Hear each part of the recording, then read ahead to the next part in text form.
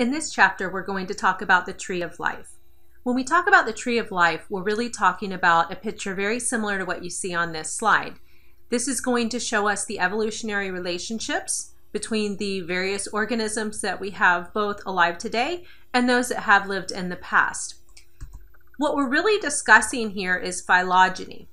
And phylogeny is the evolutionary history of an organism.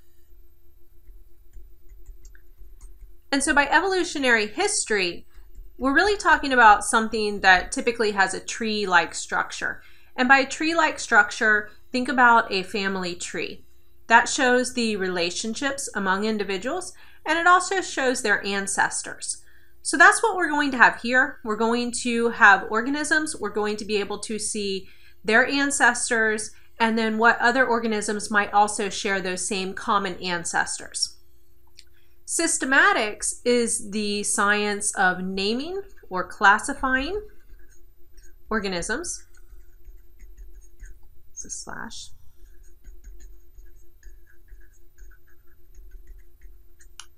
And determining their evolutionary history.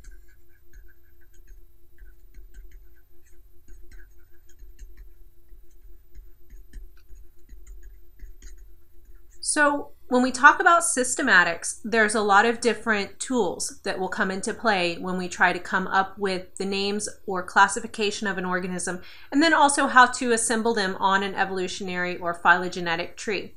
Some of the tools that will be used will be fossils. We'll also take a look at morphology when we're trying to put together these trees. And then last but certainly not least, there will be various molecules that are involved and by molecules, usually we're talking about DNA. We could also be talking about something like a protein. Here's an example of a typical phylogenetic tree. We have three different organisms on this one. We have humans, mushrooms, and plants. And if we just had those three organisms in front of us and we weren't seeing them on this tree-like structure, and we wanted to know which two are the most closely related to each other, most people that you would ask would say that the plant and the fungi are the most closely related. Well, actually, as you can see on this tree, that's not the case. Humans and fungi are more closely related to each other than they are to plants. And we know this based on molecules. Um, so if we just look at morphology or how something appears, we might miss some of those relationships that do exist between the two. So what we're seeing on this tree is we're seeing which organisms are more closely related to each other. So which probably had a very common or similar evolutionary history. Carl Linnaeus was um, the father of what we call taxonomy. And we've mentioned Carl Linnaeus in um, earlier chapters as the father of taxonomy, and he was interested in basically classifying organisms. And one of the ways that he did that was that he looked at the morphology, he looked at their appearances and he basically grouped organisms together. He came up with a two-part naming system. And that two-part name is what we now call a binomial. It's going to have two parts to it.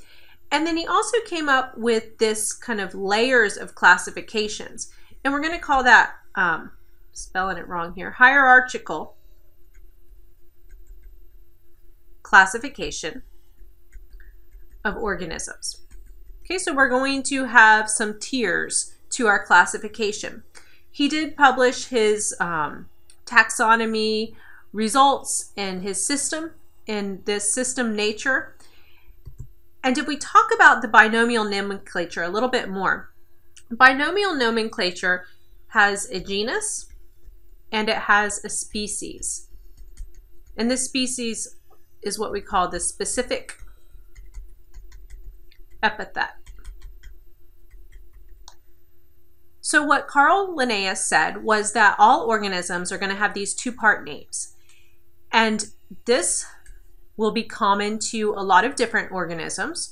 So you may have many organisms that have the exact same genus. And then this is going to be something that is unique. So when you take this combination, you will only have one organism, sorry, one species that has this two-part combination. Just to look at some examples, Homo sapiens, that would be human beings. We have Escherichia coli, and that's E. coli. You've um, probably certainly heard of E. coli before. We have Nicotiana tabacum, that's the common tobacco, and then we Citrus sinensis would be the common orange that is eaten. So here's just a number of examples. Notice that the first one is going to be the genus name, and notice that that is capitalized.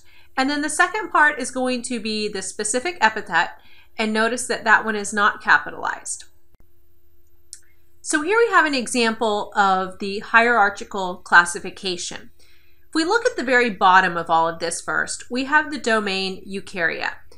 That's going to include all eukaryotic organisms. And as you probably know already, there is a vast number of eukaryotic organisms, and those would include organisms in the past, so ones that are no longer living today, and then we also have all of the ones that are living today.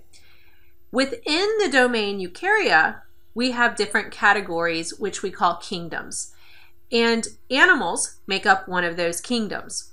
So this organism that we have at the very top of all of this is going to fall into that animal category. We then have multiple phylums inside the kingdom Animalia. This is going to be Chordata, which will be vertebrates. Within that, we have a lot of different classes. Mammals is the one that we're going to specifically look at. And just notice how we go from one tier to the next. And these are basically nested levels. So at the very top of all of this, we have the panther. And this would be its genus and species name. There's only one species that that's going to match.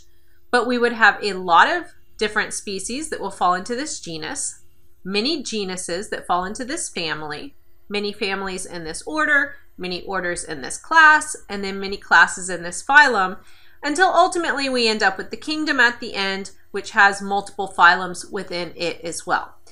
So this is the system that Carl Linnaeus came up with.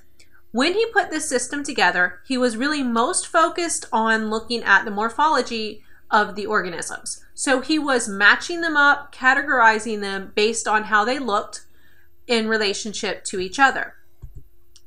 Here's just another example. This is a plant example.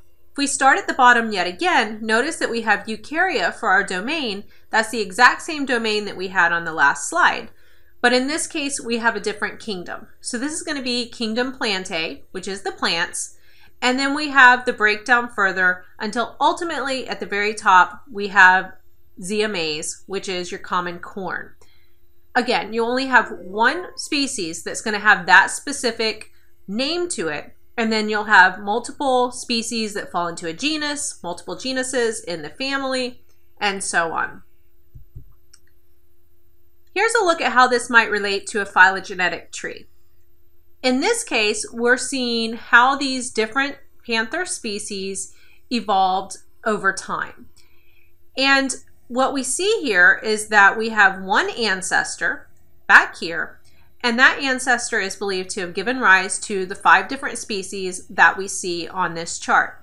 Now, since we have just one ancestor giving rise to all of these, this is what we call a rooted tree. Okay, rooted again because we have one place where we can trace all of these back to. Now, this direction is showing hypothetical time. So this would be older over on this side, and over here it's going to show us more recent. What we can see on here is that we can see a lot of branch points or a number of branch points. Every branch point is going to indicate a common ancestor for the species that come out from that. What this doesn't tell us is it doesn't tell us which species evolved first. It doesn't tell us the exact time that they evolved. But what it does tell us is it tells us which ones are more closely related to each other. So in this case, we would assume that these two are going to be more closely related than the others that we see on this diagram. So they're more closely related to each other. Now, one problem with all of this is that when Linnaeus put together his classification system, he was basing this on looks. And sometimes looks don't correspond to evolutionary history.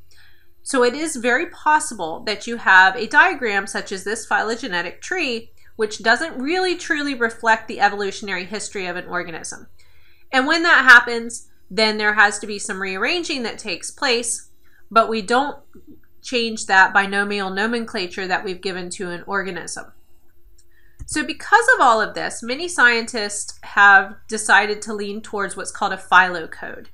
And the phyloCode is something that would be based entirely on evolutionary history.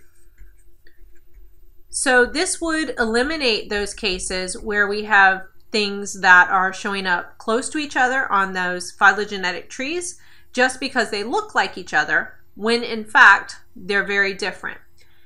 To come up with a phyloCode is a complicated process because we would have to rename a lot of organisms, so assign new names. And if we really want to be sure, sometimes um, one of the easiest things to look at would be the molecules involved in heredity. So in that case, you would have to go back to the DNA and compare DNA sequences between organisms. One thing that the phyloCode would not do is it would have no nested levels to it.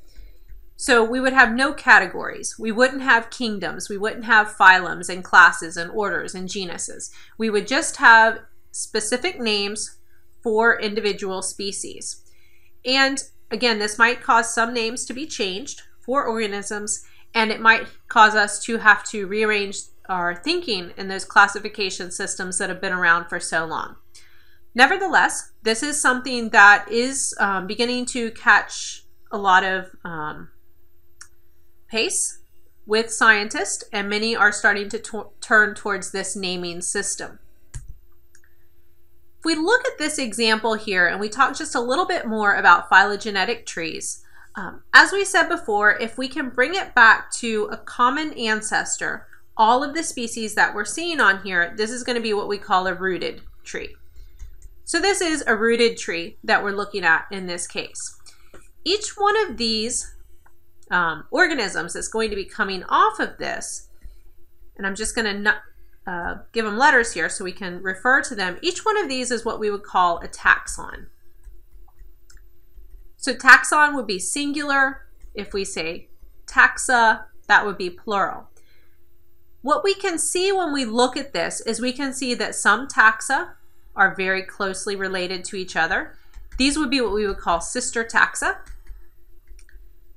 So if we're looking at this, we can see that B and C are very closely related to each other. In fact, they're going to be more closely related to each other than they are to A. They would also be more closely related to each other than they would be to D, E, F, or G. We could also say, based on this branching diagram, that they are more closely related to A than they are to the rest of the taxon on this chart. And that is because they share a common ancestor more recently with A. So right here, we can see that B, A, B, and C all diverged from a common ancestor.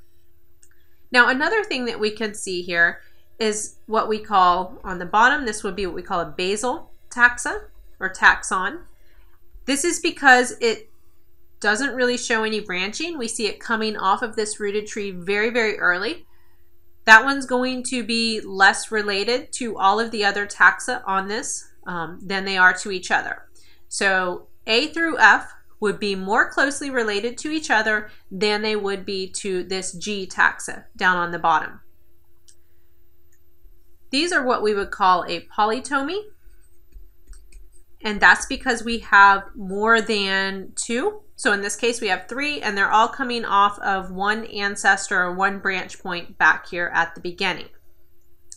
Now, if we take these ideas and we compare them to a real phylogenetic tree, this is one for some different fly um, species.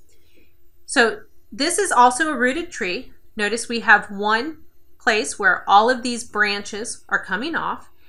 And on the tips of the branches, those would be the species that have evolved.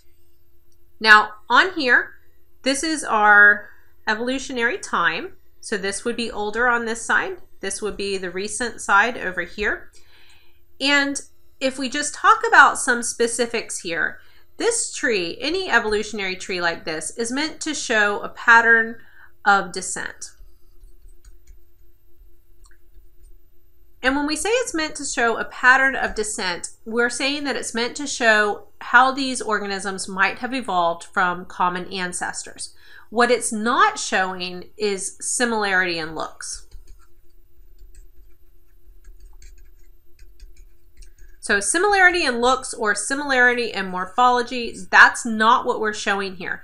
You might find species very close to each other on a phylogenetic tree that might look very different. And that is just um, reflected in the natural selection pressures that they may have been subjected to. Keep in mind what we talked about in earlier chapters about how species can evolve from each other. And it is possible that they end up looking quite different from each other in the long run. The second thing that we want to keep in mind is that the branching doesn't show any ages. It does not indicate ages. So what we mean by that is that we're really getting relative um, time or relative ages here, definitely not, definitely not absolute ages.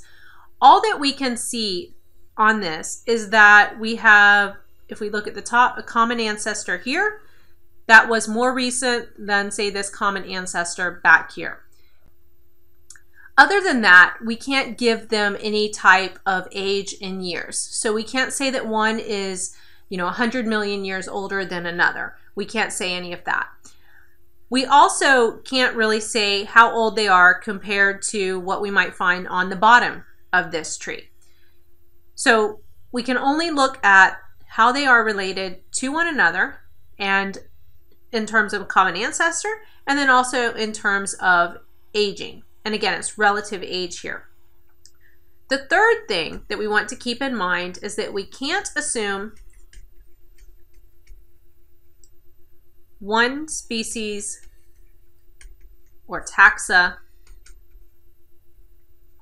gave rise to one right next to it.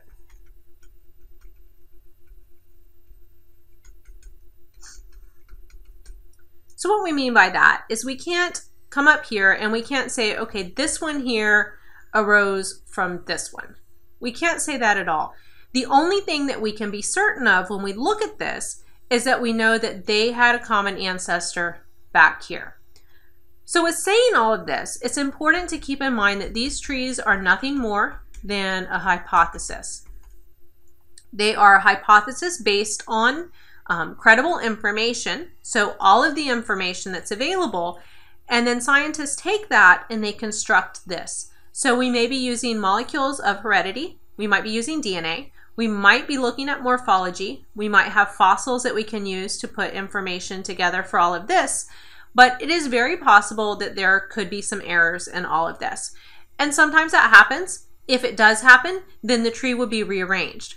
So you will see if you begin to look at a lot of phylogenetic trees that they do constantly get rearranged just a little bit as new information becomes available.